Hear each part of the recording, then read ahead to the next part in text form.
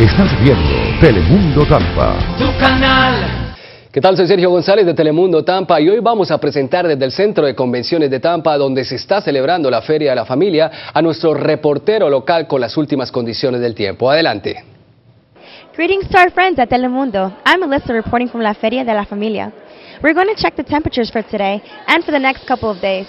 Today, Sunday, we have high temperatures of 91 degrees and low temperatures of 77 degrees with a 40% chance of rain. On Monday, the weather remained the same with high temperatures of 91 degrees and low temperatures of 75 degrees with a 40% chance of rain. Now back to the studios with Sergio.